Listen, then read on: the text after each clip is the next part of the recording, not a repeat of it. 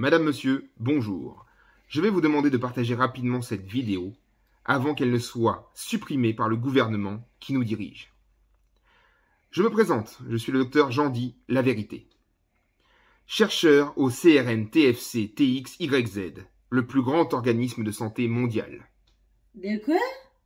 Oui, le plus grand organisme de santé mondial. Bon, reprenons. Vous êtes victime de désinformation. On vous ment. On vous spolie. Le vaccin Covid-19 ne vous fera pas capter la 5G. Non. Bien au contraire. Vous perdrez l'intégralité de vos moyens de communication.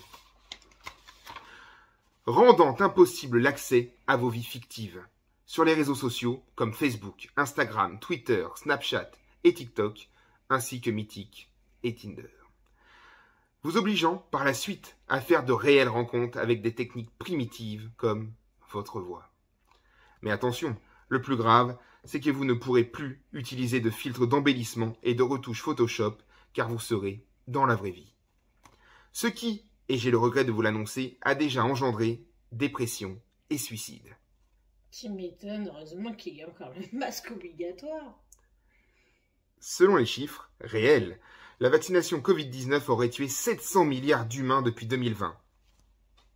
Bah, on n'est que 7,8 milliards, espèce de mytho. Non, je suis pas mytho. euh. Bah si Bah non, j'ai dû me planter euh, avec la virgule, c'est rien.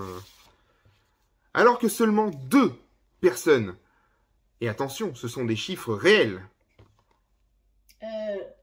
Ouais Sorti de ton chapeau? Mais non, n'importe quoi, c'est... Je tiens ces chiffres d'une amie de ma sœur qui sort le chien de mon oncle qui travaille dans le bâtiment. Je peux vous dire que ces chiffres, c'est du béton. Mais hein. qu'est-ce que c'est que ces carabistouilles Et ils auraient contracté le virus de la Covid-19 et n'auraient eu qu'un gros rhume. De plus, en éternuant dans la rue, ils auraient eu un abaissement de leur tête qui leur aurait donné accès à un billet de 100 euros qui se trouvait à leurs pieds. Sans la Covid, ils ne l'auraient peut-être jamais vu.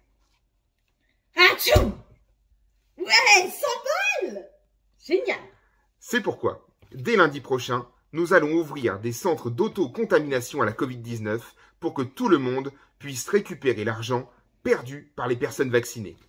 N'hésitez pas à prendre rendez-vous sur www.contaminationnage.org pour les sceptiques. Voici ma carte de visite. Alors faites-moi confiance.